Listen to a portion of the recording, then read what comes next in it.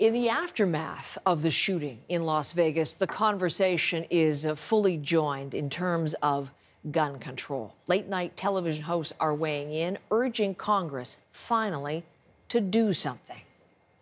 Universal background checks, or come up with a better answer.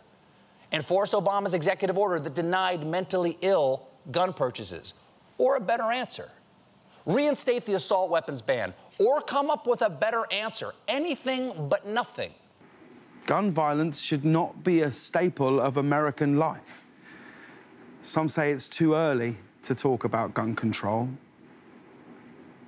For those victims last night, it's far too late.